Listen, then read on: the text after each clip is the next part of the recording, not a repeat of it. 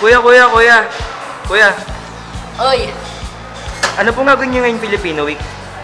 Ay, next week yun, no? Oo, Next week. oo. Ano eh? Ballroom. Ballroom yun. Sayaw-sayaw. Tapos ballroom, grabe kakaiba kasi may babae at lalaki. Mga lala, babae ako sa sayaw, tapos may dress-dress pa yun. Tapos, sa sayaw na yun, may mga ano yun eh. Rock, real rock, gano'n. Tapos may swing. May swing, may swing. Tapos may mga ganun pa yun, tsaka yung ganun. Eh sa practice, anong ginawa niyo? Buti na tanong mo. Talagang nag-practice kami niyan. Alam mo ba? Grabe, mga practice namin talagang hirap.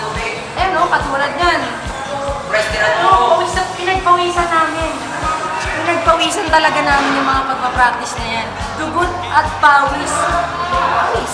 Talaga, talaga ang pinaghirapan namin. Talagang, pag nakita niyo yung sayaw namin, ako, Chuck, masisiyahan kayo. Matutunghayan ng lahat. Naku, mabibigla talaga kayo. Meron ba kayong mga mensahe gusto sabihin? Oo. Siyempre, gusto ko sabihin, sana manalo kami. Talaga kasi pinagandaan talaga namin yan. Yung mga sayaw na yan, ballroom. Kasi first time lang yata nag-ballroom eh. Talagang, sana kami yung unang panalo. Tapos, gusto ko sabihin na manalo, ma- manalo man o matalo kami. Talaga, iisa lang kami. Iisang si Timothy lang yan. Eh paano advisor niyo? Ay, si Hernandez. Napos, supportive yun eh. Supportive. Kala mo, galit yun. Pero, syempre gusto lang kami manalo nun. Kasi, alam mo naman, mga bata tayo. Medyo may pagkakulit. Pero, talagang full, full support yan si Ma'am. Kung alam mo lang, kala mo, nakasimangot lang yan. Pero, naku, mahal na mahal kami nun.